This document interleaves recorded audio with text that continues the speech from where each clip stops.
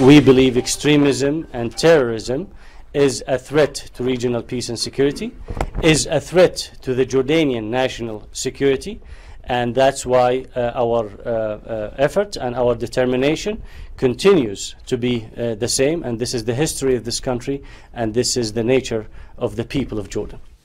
The world seemed to be numb at the thought of another ISIS beheading. So the most media savvy terrorists in history upped the ante, hoping to send shockwaves around the world. They did just that. But is Jordan and the rest of the world merely buying into the ISIS narrative, helping them spread their message, and doing not nearly enough to find, stop, and kill them? He was the first director of the Afghanistan Pakistan Center of Excellence of the United States Central Command. 26 years service as an intelligence officer and Middle East Foreign Area officer a close advisor to General David Petraeus in Iraq, now professor at the University of South Florida. Let's get the facts. Let's welcome Derek Harvey to Midpoint. Colonel, thank you so much for joining us.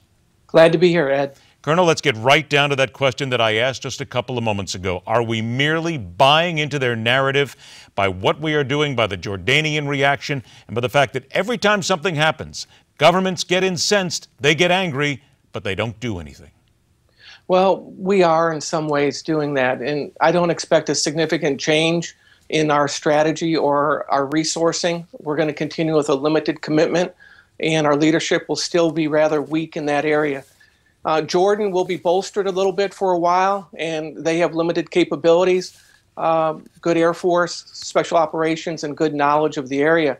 But at the end of the day, you know, I don't anticipate much change from this administration in exerting the leadership and a developing the strategy and executing it that will make a difference. They have had opportunities in the past and they have not done so. Colonel, we keep hearing that word, and I, I need to ask you this one leadership. We keep hearing that over and over again. Instead of just being somebody who makes nice speeches, honestly, seriously, Colonel, what is leadership in a case like this? Well, leadership is clearly articulating what it is that is in U.S. interests and in the interests of our, our regional allies and articulating the threat and defining it clearly for the American people and those in the region. And then leadership is making sure that you commit your political capital and your investment of time and attention to executing that strategy that you develop. We have not had that leadership, and there's real doubt in the region about U.S. commitment, resourcing, and dedication to this effort. It seems to be that we are focused more on just showing that we're doing something for uh, political purposes at home a little bit of activity, a little bit of rhetoric, and hope that this crisis also passes. But what's the thing that breaks that logjam, though? Because uh, no disrespect meant, but these are a lot of the same comments that we hear from a number of different people about leadership, showing leadership, doing something, and yet nothing gets done, and yet we continue to sit here and ask the same questions over and over again. The American people are, I think, are a little bit sick and tired of this at this point, and they want to know if we're going to get involved, let's get involved. So, what's the substantive piece of action that needs to happen right? Right now that really makes a difference? Well, I think that clearly the president frames this as an argument about going all in with 100,000 or 150,000 and having another invasion of Iraq or, or Syria. But that's just unrealistic and it's not necessary to the task. We do have capabilities to, to address this, declare no fly zones, no go zones in Syria actually be committed to arming and working with people that are going to fight ISIS and Al Qaeda in Syria, making a clear de- determination about the future of Bashar al Assad. We should not be on the side of someone who's committing atrocities. But the president has a focus on one thing, and that is a nuclear deal with Iran and acknowledging Iranian hegemony in the region. And that is alienating our friends and creating tremendous doubt in the region. Colonel, I only got about 30 seconds left, and then we're going to take a break. Do we just need to get to the point where we say, look, enough of this being worried about friends, enough of this worried about shaking hands and all this. If we're going to get involved, let's just do it. We're already being considered pariahs by so much of the world. So if we're consider this and we're going to go kill the bad guys, let's just do it. Well, we could go in with strike operations, be more aggressive, a combined joint task force, more airstrikes. We've used limited capability a, a limited footprint, and we really haven't put our best effort out. Give the military a mission and let them take it on, but give them a clear mission to actually go out and degrade and defeat the enemy. Maybe turn them loose is not a bad idea, at least in this case. Colonel, please hold on just a few minutes here because we're going to ask a question. Where are we and the rest of the world heading? Why are we wasting our time in fighting vermin such as Al Qaeda and ISIS? What do we do? We turn there. We cover plenty more ground with Colonel Derek Harvey right after the break. The ISIS killers have sent a message. What's the response? It's coming up here on Midpoint.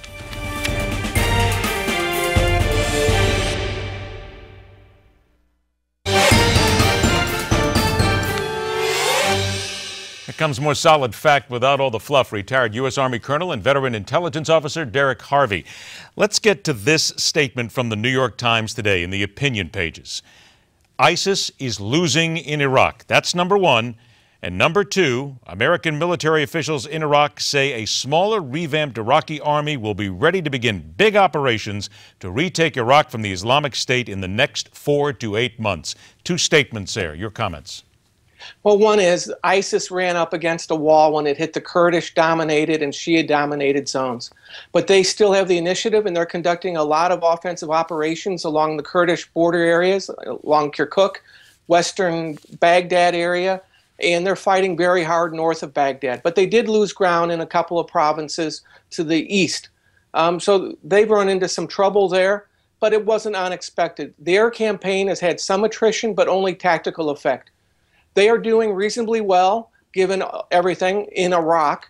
And importantly, we're going to see it maybe in eight months to a year before the Iraqis are up to the task.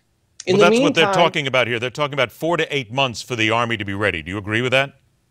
I agree. I think it may be longer, but here's the bigger issue.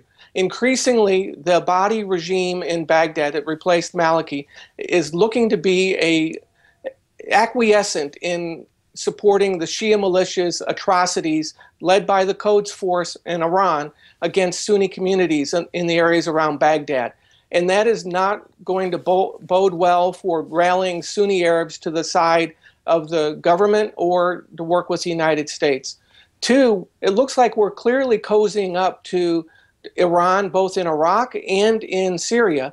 And so that alienates the Sunni Arabs across the region and it feeds into a narrative that bolsters ISIS. We've talked about leadership here. Now I'm going to ask you about President Obama's nominee for Defense Secretary Ashton Carter.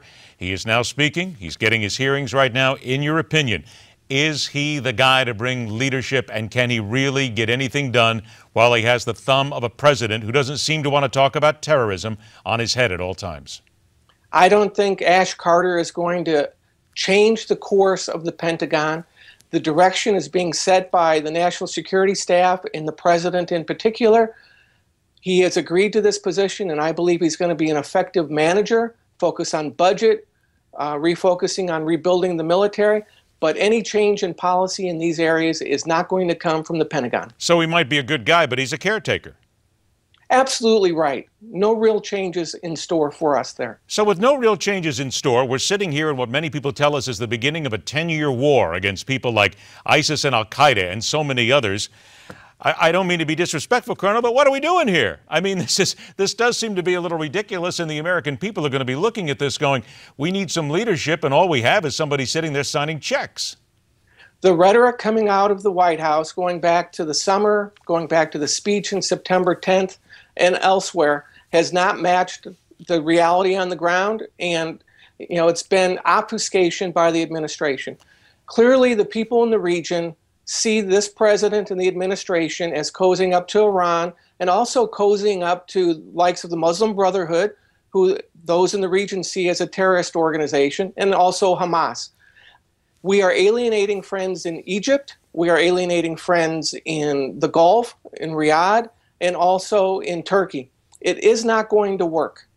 Colonel, are we just reaching a point where, again, if we look down the road a couple of years, you're going to find people in the Middle East and those who are basically watching right now and laughing, that they're going to laugh even harder at us and go, you know, the Americans, they're just so incredibly stupid. They just don't get it. And they've shown us again, they just don't care.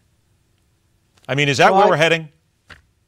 Well, I, I, think there's a lot of dissatisfaction within the U.S. military and the Department of Defense and elsewhere about the failings of this presidency, the unwillingness to call a threat a threat and define it for what it is, to be clear about U.S. interests, and to develop a strategy and listen to the advisors, whether it was you know, Secretary Gates, Secretary Panetta, General David Petraeus at CIA, Hillary Clinton. He has not listened. He has an ideological framework that is inconsistent with American interests in the region.